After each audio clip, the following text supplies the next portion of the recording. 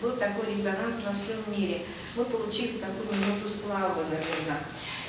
И, конечно, когда дети, картина это дети для художника остаются где-то, то естественно, что художник очень любит нашу страну, очень любит наших зрителей. И поэтому э, то, что здесь сегодня вы увидите, представлено, это работы в основном из частной коллекции. Есть, конечно, от художника несколько работ, но эти работы, когда я собирала, они 10 лет Э, или 12 были на стенах в разных домах. И когда коллекционеры и друзья мои снимали эти работы со стены и говорили, что мы никогда с ними не расстанемся, мы только вот временно их даем на выставку, выгулить, но мы никогда не хотим их продавать. Ни один из коллекционеров не захотел продавать свои работы. Вот так, такие вот э, работы замечательного этого художника, потому что один американский журналист сказал, что искусство Юрия Горбачева делает людей счастливыми. Вот это на самом деле так и есть.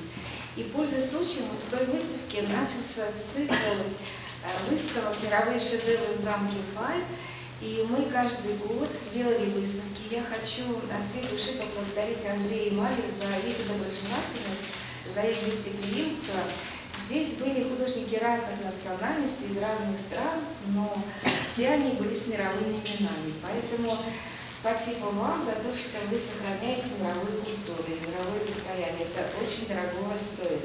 И я, конечно, еще хотела бы поблагодарить нашего партнера и нашего друга, это Мелиса Кубица, потому что без него тоже многие бы проекты, особенно выставки Юрия Горбачева, не состоялись, потому что они друзья.